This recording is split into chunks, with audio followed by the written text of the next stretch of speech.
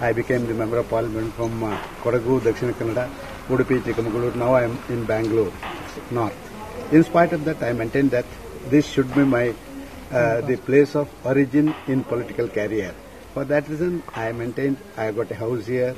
I am a permanent resident of Puttur, even though I am representing Bangalore North. So today it is a precious day. I myself, my son, we all came here to vote. I I was here in Puttur for two days for campaigning also. It is a prestigious uh, place uh, of Dakshina Kannada. It is a very uh, cadre-based political party and we have got a very good captain here in Puttur. Sir, uh, last time it was around, uh, uh, if I'm not wrong, 71.45% of uh, voting was done last time in the 2013.